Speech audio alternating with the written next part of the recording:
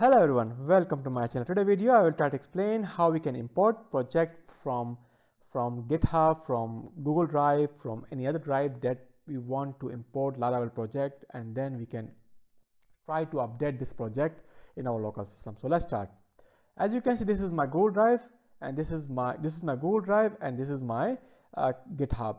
As you can see this is my project. I can import this project just click on simple click on this project and download in other case, if you want to download project from GitHub, just have to click on code and download zip.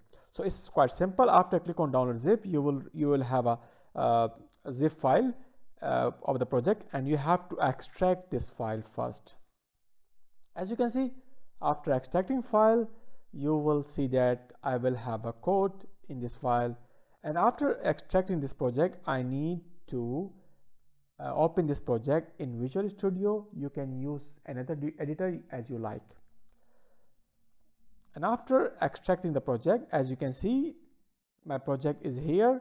And now I can open this project in in my Visual Studio.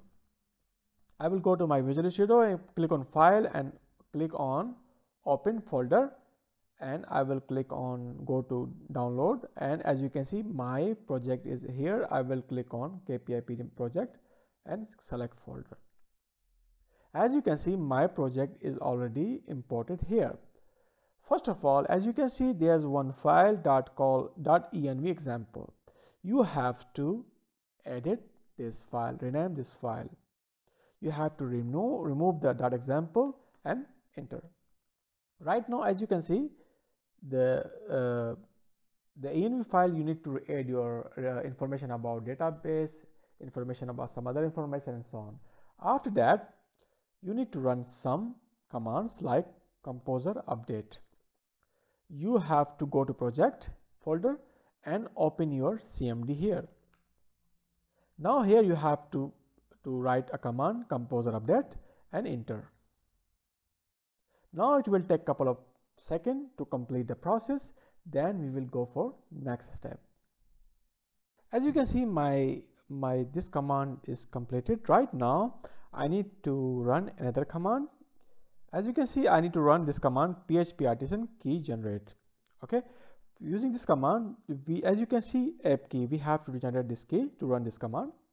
Just simply go the run the same uh, same command here like php artisan key generate enter you can see my key is generated here as you can see here.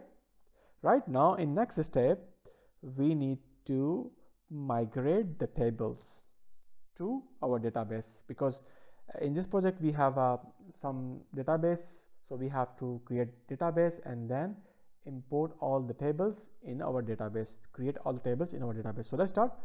As you can see here this is my database name I need to create a database. I need to open XAMPP and start MySQL server. And I will go to browser and open my localhost php admin and create a new data database right? Click on new and write a name here laravel project uh, laravel name of the database and click on create. You can give any name and done. Your your data uh, base is created. Right now you need to run a command. Is called php artisan migrate. Simply you need to run this command. Go here and enter. As you can see my all the tables that are uh, that that was available in my code is created in my database. I will show you here. You can go to laravel and you can see my all the table are created here. So it's quite simple right? And the last step you have to run you will you need to run a php artisan serve to check my project is working or not. Enter. As you can see my project is server is started. Just need to open this link copy this link and try to access my application.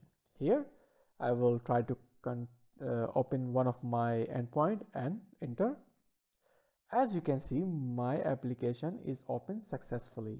Right now you can use your application. You can try to update the code if you want to do some modification if you want to do something else. So it's quite simple. In this video i try to explain how you can import any project from from github from from any drive and try to uh, uh, run on your system and then you can update your, your project so it's quite simple. So thanks for watching my video. If you like my content give a thumbs up. Thank you